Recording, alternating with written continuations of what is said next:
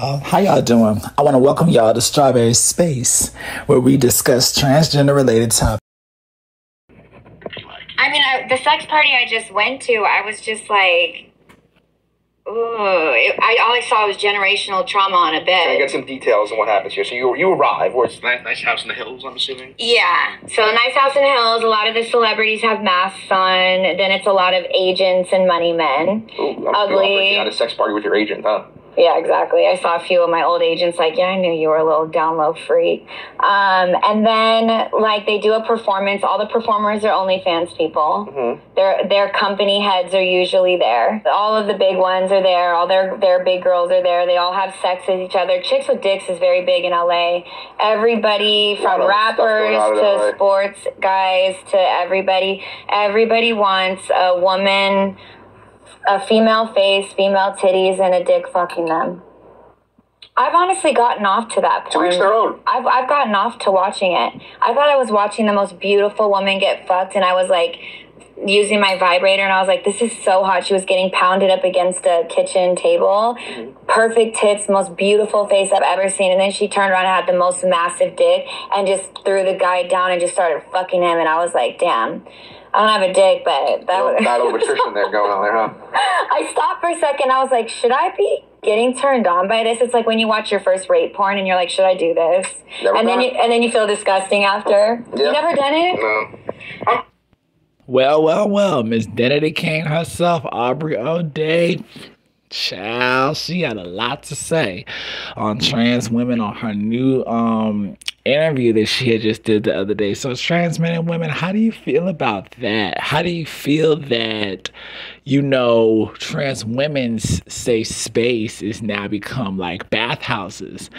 Um cisgender men and women, I know that y'all mostly have this usually at every club you go to where there's like an eagle. Like if you see like in your city, like the Eagles and the Onyx, those are the places where, you know, it's shit that mostly goes down at. But hey, Strawberry Space, we're here discussing Aubrey O'Day today. Um, she had gave that little snippet on her interview because she's just now speaking out about making the band with the Diddy, but they were focusing primarily on OnlyFans and whew, she did Playboy. She did a lot of shit. This is the perfect girl to speak out about this. I told y'all when Mary Magdalene said something, I didn't believe it, but now when it comes from her mouth, y'all will see we are occupying spaces. And I am 100% against you know, any slander, I am for this. Like, where do you want me to go? Y'all claim that trans women trick all these niggas and is this my safe space? I'm not gonna be on a shirt over no dick. Like, that's just not gonna happen. The fuck? We are here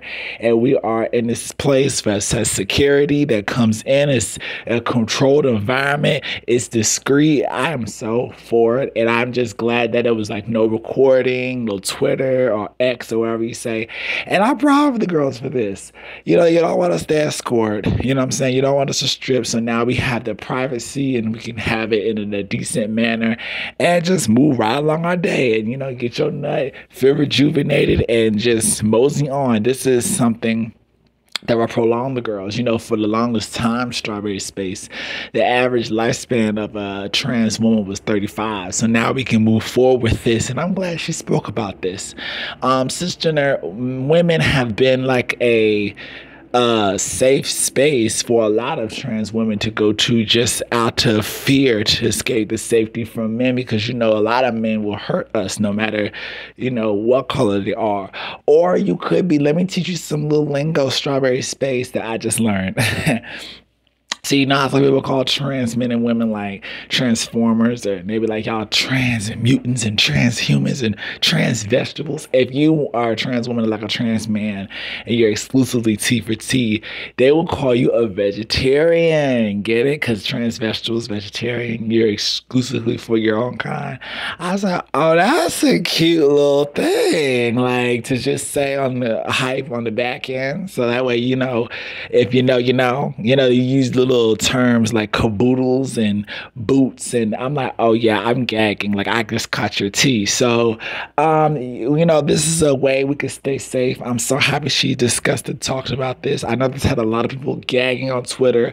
I seen it via Instagram on Gay Magazine, and I'm just happy that we have new alternatives. For the longest times, they would not allow like at like leather spots and bike clubs. Like it would be for men only. So now I'm glad that they're opening their gates to include, you know, trans women. So I just want to report on this strawberry space. She ain't did nothing wrong. I ain't gonna tear the girl up, but um, yes, this is a monumental milestone in our community in LGBT, and the fact that it heightened over to a cisgender like uh space because she didn't go to no gay little spot y'all she said this was a sex party at la but you know how we ho do so yes girl so yeah, Strawberry Space, I will be um dropping little exclusives here and there. Um, you know, you just look forward for my next videos. I'm gonna be talking about Yolanda Saldivar.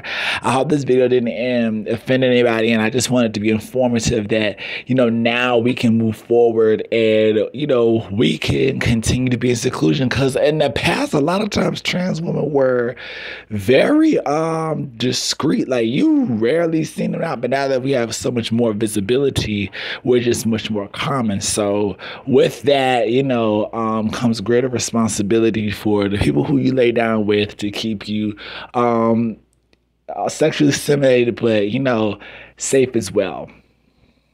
So this has been Strawberry Space, and thank you.